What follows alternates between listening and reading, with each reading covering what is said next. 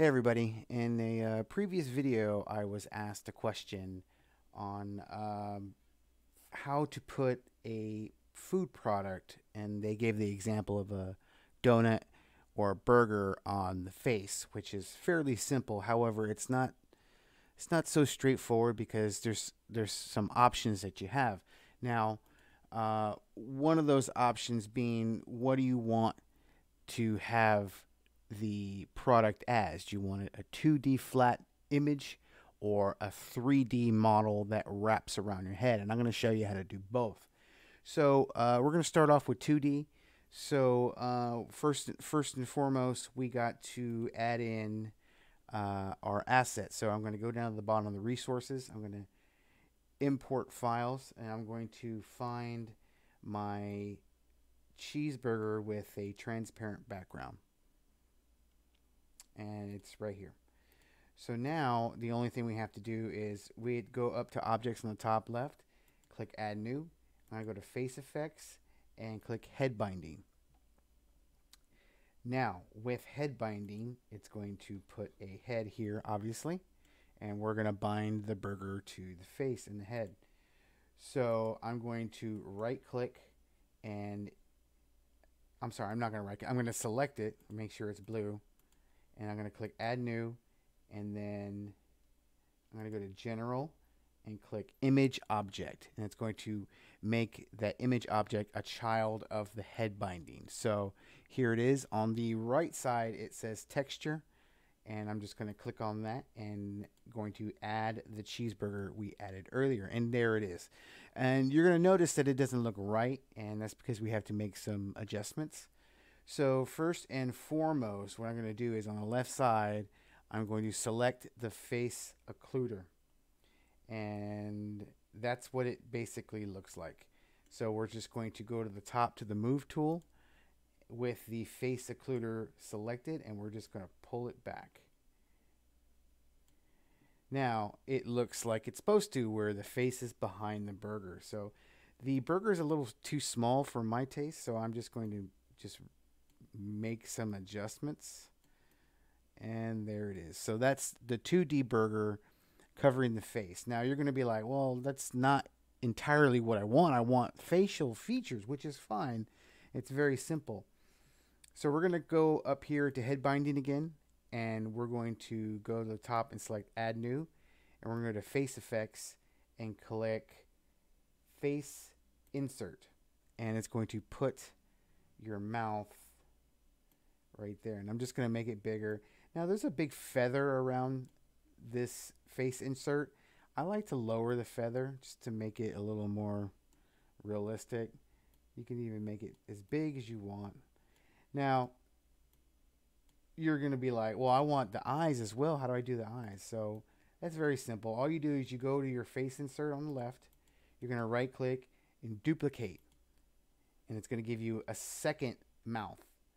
And right here under face region on the right side, I'm going to select left eye. And there it is. And to get the right eye, you do the exact same thing. You right click, duplicate, duplicate and there you have it. And it's still the left eye, so you're going to change it to the right eye. And you're done. That's it. So that's how you do the 2D uh, product over the face.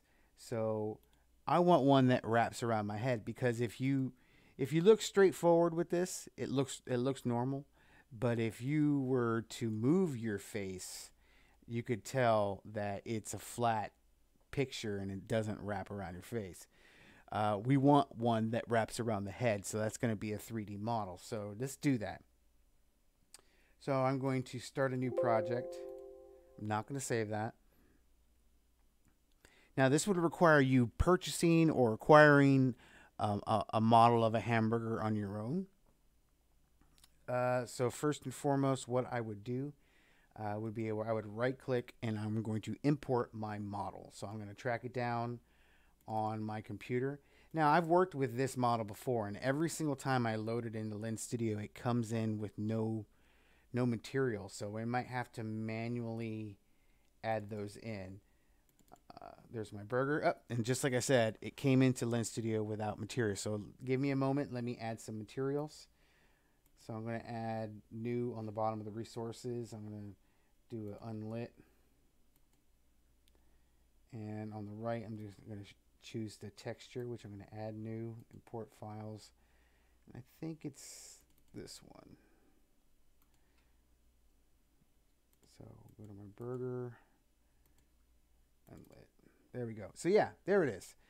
Um, cool. So now what we want to do is we want to connect it to the head and make it a part of the face. So just like the 2D variant, we're going to, on this one, we're going to grab the model of the burger on the left hand side and we're going to attach it. So in order to do that, we're going to have to, to put in a new head binding. So we're going to go to add new, face effects, head binding.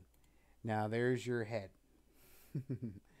so what I'm going to do is I'm going to grab the 3D model and I'm going to drag it onto the head binding. So now the burger is attached to the face. Wherever the face goes, the burger goes as well. So it doesn't look right in, in my opinion, so I'm just going to make some adjustments.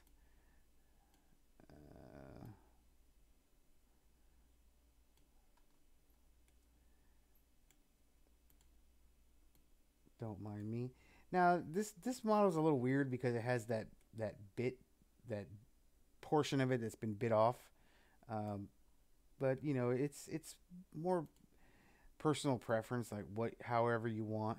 You know, with this particular model, I like to make the burger real big to cover as much as the face as possible. Um, that's just personal opinion, personal preference. Uh, yeah, I'm almost done. So pretty much, there it is. And the way we get the facial inserts like we did last time, it's the exact same process. Just let me finish this adjustments. So we're going to have the head binding selected on the left and we're just going to add new face insert and there it is. I'll just make some adjustments.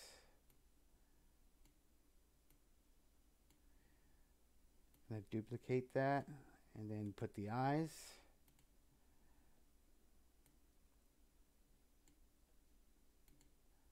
Left eye. Now these can be as large as you want. You know, you can do whatever you want. You can go crazy.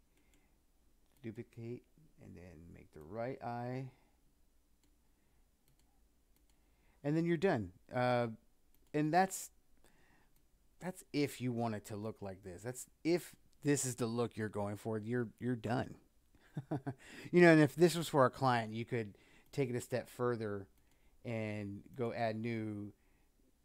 Let's go screen image, and then you could put like a logo of the burger place, and then have the logo down here, down below. So it'd be the the, the company's logo, and then the burger face up top.